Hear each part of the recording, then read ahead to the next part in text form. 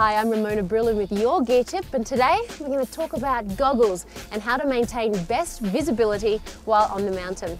Let's start with lenses, shall we? Lots of different colours out there to choose from. Snowy days and flat light days, you want a lens that you can see the wearer's eyes through, typically yellow, orange or rose in colour.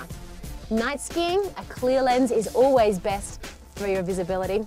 And then on sunny days, well, you want a lens that reflects the light the most. These are often silver or mirrored in color, rainbow, maybe oily looking. And again, now on sunny day lenses, you shouldn't be able to see the wearer's eyes through the lens because they're heavily reflective. Best for sunny days.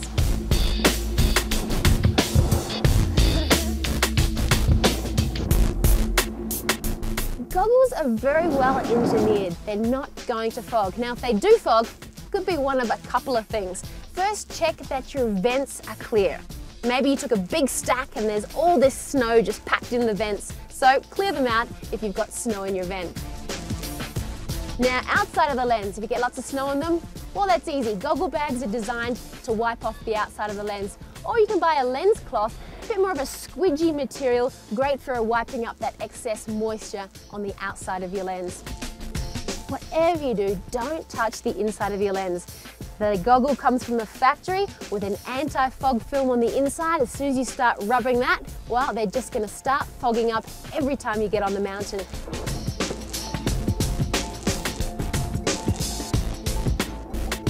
Now, if your lenses are fogged, go inside, put them under a hand dryer, put them on a heater until they dry out themselves. Do not touch the inside of your lens.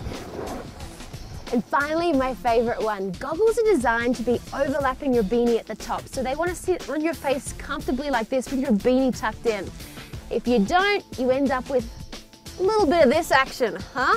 It's what we call a gaper gap. You can tell people at the bar that night who've been wearing gaper gaps all day by the red moon-shaped sunburn on their forehead. Goggles are designed to be tucked into the beanie, so wear them that way. That way they can do what they do best, vent and not fog up for you to enjoy your time on the mountain. For Plum TV, I'm Ramona Bruland, and that was your goggle gear tip for today.